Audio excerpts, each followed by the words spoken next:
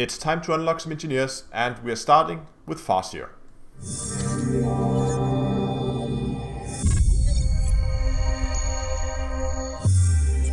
Hello ladies and gentlemen and welcome back to Elite Dangerous with Down to Earth Astronomy.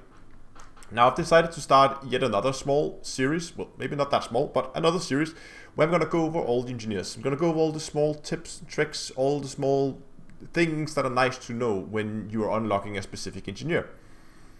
And today we're starting with Farseer. Um, reason why I want to start with Farseer is because she's most likely the the first engineer you want to unlock because she does grade 5 uh, frameshift drive upgrades. Um, that means that you can increase the range of your frameshift drive. So even if you are unlocking other engineers, I would actually recommend that you go to her first and unlock her so you can get access to that longer jump range because that's going to help you out a lot, going to speed up your process, even though she's maybe not be, uh, be a uh, prerequisite for the engineer you actually want to unlock. So, to unlock engineers, you need to go through uh, three phases. And the first thing you need to know, uh, need to do, is you need to know where engineer is actually located. Now, if you go over here to your status tab, you go to view engineers, you will most likely see, we can see Farseer for instance, um, we can see down here in the log that there are three steps you need to go through to unlock this engineer. Now the first step is always, uh, this is the same for all of them, not the same steps, but there are the same, same three general steps. First you need to learn about the engineer, know that the engineer actually exists and where they're located. Second step is to get an invitation from the engineer, engineer to come to their engineering facilities and, uh, and actually land there.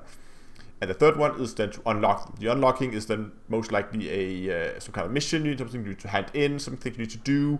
That depends on on the engineer. Now, we can see in the log that to learn about Farseer, to get the knowledge of her, that comes from public data sources. So that's public knowledge. Um, you're going to have access to her from the start of the game. Um, pretty early on at least. So so that's not a problem. You should always have that. You should have her in here in the known engineers window here. So we can uh, move straight on to uh, to the second step. That is you gain access to the um, to the facilities, get the invitation. Now to do that, you need to reach the rank of scout, and that means you go over here. You can see on my status that currently my exploration rank is elite. You can see here the third small bird icon. Now that needs to be scout. That's a fairly low rank. You should maybe you already have it, but if you haven't, um, you can go out. You can do some exploration, and uh, you only need like 270,000 credits worth of data to reach the scout rank. So it's it's pretty easy. But as with many of these engineers, you can actually do several of the steps at the same time. I mean, you can begin to to complete your next step before you even have the invitation. Now, so if you're not scout yet, what I suggest you do is you fit yourself an exploration ship and you go out and begin to explore. Now, if you're not a scout yet, you probably haven't done much much exploration uh, to start with. So I suggest you go and watch my video on your first exploration ships. That gives you some pointers to what you need to fit and what modules are good, what ships are good, and depending on your price range, because I don't want to go into too much detail with that in this video. So go over and watch that, click the Moin icon, where, icon wherever that is. So, So once you have your exploration ship, that we can look at the, at the, third step here. That is, you need to get a meta alloy. Now, now these meta alloys you can get these from these alien uh, uh, barnacles that are on the surface of some planets, mostly down in the Pleiades sector. So if we open up our galaxy map, we can see here this is where Farseer is located, like in the outer edge of the bubble. Well, not too much more to say, but that's okay. Now the Pleiades sector is over here next to Maia, so I think it's about 400 light years out there. So it's a decent distance to fly. And that's why you can actually um, do two tasks as one. Because if you're not scout yet, what you can do is you can get your exploration ship, you can fly towards the, the location that we're going to look at in a bit, um, and then just scan some planets uh, along the way. And that should uh, give you enough data to be scout once you come back because you're not going to get the, the, rank right away. You have to fight a station where you can actually sell it. But luckily there are plenty of stations in uh, in system. For instance, here's a station where you can sell your data and that should give you up to the scout rank once you come back. So you scan systems on your way out and systems on your way back if you're not scout already. But the system, um, the system that we're heading to, hold on, let me get this from my notes here. There we go is Pleiades sector OI-T C3-7 which is all the way down here, as I said, down in the in the close to Maia. And um, so we need to head that that'll be in the description. So we need to head to that system. Um, and once you're in that system, so open up the system map here. There we go. You need to head to the sixth planet, which is this one here.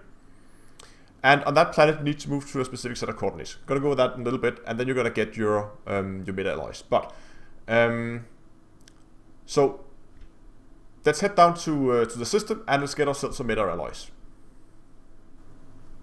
Once you are in the Pleiades sector and in the, in the right system, of course, you need to head out to planet, where's that, A6, I think? Yeah, A6.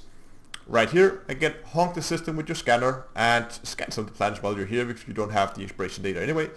Head to that planet and then head to uh, the coordinates minus 40, uh, yeah, minus 42.77 and minus 21.70 and you can see them here on screen and everything, system name and everything will be in the description below and I also put a link to a video about how to navigate by coordinates so if you're not familiar with that there will also be a video up on that so you can go and, and watch that. Okay, so once we're here you of course see these uh, structures here and this is what all the fuss is about because on these pillars we can drive around these and we can see on these pillars some of them will have these um, have these big green uh, things growing on them. So if we shoot this, there we go. This mining fragment pops out. So we're to open up our cargo scoop, target it, and drive over it. And you can now see that in our inventory have one meta alloy, which was of course what we needed. Now you can stay around here, stick around here um, if you want. Sometimes uh, Thargoids will come by here and uh, it, it's quite a sight in itself. So if, if you haven't seen that, maybe stick around. It can take an hour or two sometimes if you're unlucky. Um, but if you're just interested in unlocking the engineer, I suggest you can just head back to your ship and uh, let's head back to Farseer. So once you're back, you have handed in your exploration data, you've got yourself to the scout rank if you wasn't already. You can go here and you can now hand in that meta alloy uh, in the engineering um, engineering workshop, is that what it's called? I think it is. Yeah, engineering workshop here in here. You should be able to hand in, there should be like a donation box here where you can hand in that meta alloy, which will unlock the engineer. Now, you might have to go back to the main menu and back into the game for the whole interface to unlock properly. Um, so to do that, and now you can see the different types of um, of engineering upgrades that, that, that she does. And the most um, useful one is of course the grade 5 frameshift drive. I haven't unlocked it all the way actually. I used some other engineers for, for frames. Are other engineers does the same upgrades. Um, I think worth noticing, noticing is there's no shipyard here. So if you're planning to transfer a ship over, you will have to go to one of the other stations in system and transfer to that station and then fly it down here. We're going to open up the map, so I suggest you use this station because they have a large landing pad. Um, but you can use any of the systems, so stations in system to, to get your ship here if you're not going to fly it yourself. Now, in terms of outfitting, I'm not going to go over everything. I just want to make a comment on the frameshift drives available here because it is actually limited. You can see here 6B, 5B, 4B, if you want to have an A-rated uh, frameshift drive here, you can get a 3A and a 2A. That's the only ones available in A class. So keep that in mind that you will, in most cases, actually need to um, to bring the frameshift drive yourself. Another thing worth mentioning is that, of course, because she does thruster upgrades, she also sells the enhanced performance thrusters, which only comes in grade 2 and 3. But if you're building a high-speed ship or a small ship, I would recommend putting some of these on. They are are very good, gives you some nice performance increase. Um, so that's also a nice thing by having uh, having her unlocked. But I think that's uh, that's pretty much all there is to it. Um, I hope you found the video useful and let me uh, let me know in the comment section what uh, what you think of this kind of a uh, small series where I go with engineers. I mean, I know Farseer is very one of the easier ones to unlock, and there will be more difficult ones later on, um, where there will be a little bit more content. So just to get things started, we start with Farseer and also because she opens up to other engineers later on.